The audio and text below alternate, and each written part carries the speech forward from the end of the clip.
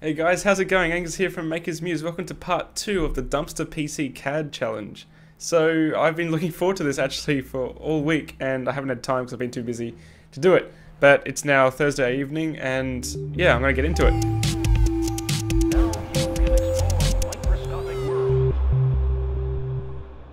So I actually found a case for the PC and this is the one here. I've cleaned it up, so it was covered in dust when I found it, and it's pretty sick actually, pretty well made. Um, obviously the guys bought it from PLE Computers when they first got it, got the system. Uh, EV, EVGA sticker on the front, so it might have had a graphics card in it at one stage, which they've taken out unfortunately. Um, but it's well built and will be perfect for my system. So yeah, thanks guys for the feedback and the comments on the parts I should use. It really means a lot to me because I don't know too much about computers. I decided to go with the, the uh, Core Duo system, so the um, Intel system, because that's going to be much less power consumption than the AMD system, which is cool. Uh, also going to go with the 8600 GT. The feedback on the drivers is really important, so I didn't actually even think about that um, in terms of getting drivers for Linux. So that's a pretty old card, so it should be supported, so fingers crossed. Also I found some sort of SATA cables, uh, random screws, crap like that, so I can connect all my peripherals together.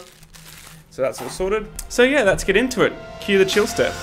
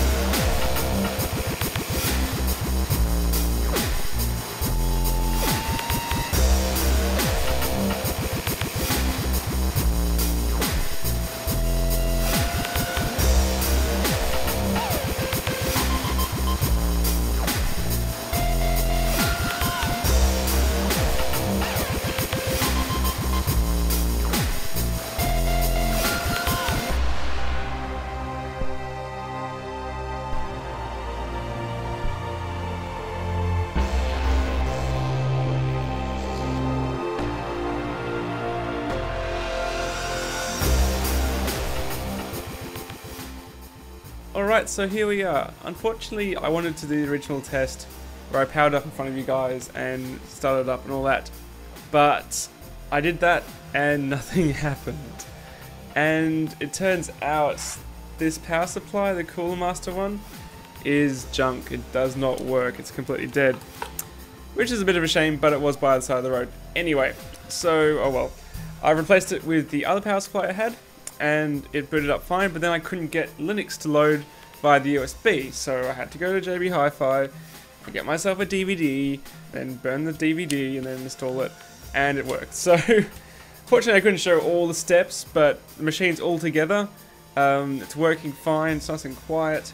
I actually found another 1 gig stick of memory, so I've now got 3 gigs in there. They're completely mismatched, but whatever, it's free. and yes, so here's the machine. It's uh, currently installing FreeCAD. Uh, the machine is down on the floor. And I'm going to try FreeCAD, see how it goes. And then I'm probably going to try uh, Steam, install Steam, and just see how it, how it runs games and 3D applications to see how powerful the processor is. So yeah, so thanks for watching guys, uh, stay tuned for the next, uh, the final installment where I'll be actually using the system to make a project, and we'll see how it goes. Uh, not bad for a completely free piece of kit. Um, yeah, wish me luck. Thanks for watching guys, see you around here soon on Maker's Muse. Bye.